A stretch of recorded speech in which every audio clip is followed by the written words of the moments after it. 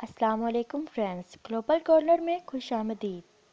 Please subscribe my channel and press the bell icon viewers, آج میں آپ کو ڈرامہ سٹل انا کے لاسٹ اپیسوڈ کا شورٹ سا ریویو دوں گی۔ لاسٹ اپیسوڈ میں دکھایا جاتا ہے کہ آنیا کی حالت بہت خراب ہوتی ہے اس کو التمش لے کر ہاسپٹل چلا جاتا ہے، وہیں عریش بھی آ جاتا ہے۔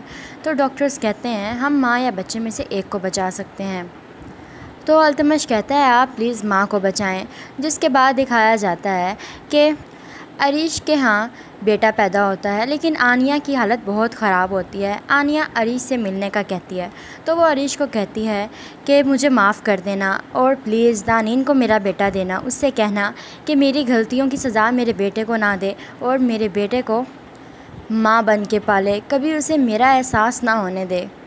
لیکن اسے میرے بارے میں بتائے ضرور۔ تو عریش کہتا ہے، پلیز تم ایسی باتیں مت کرو، جس کے بعد دکھایا جاتا ہے کہ آنیا مر جاتی ہے۔ دوسری طرف، کچھ ماہ بعد دکھایا جاتا ہے کہ عریش اپنی بہن کی شادی اسی ریسٹورنٹ والے لڑکے کے ساتھ کروا دیتا ہے۔ جس کے بعد دکھایا جاتا ہے کہ ایزا اور التمش کی شادی ہوتی ہے اور ایزا اور التمش بہت زیادہ خوش ہوتے ہیں اور ادھر دانین، عریش اور ان کا بیٹا بہت اچھی زندگی گزار رہے ہوتے ہیں۔ تو پیورز یہ تھا انا ڈرامے کے لاسٹ اپیسوڈ کا شورٹ سا ریویو آپ لوگوں کو یہ ڈرامہ سیریل کیسا لگا؟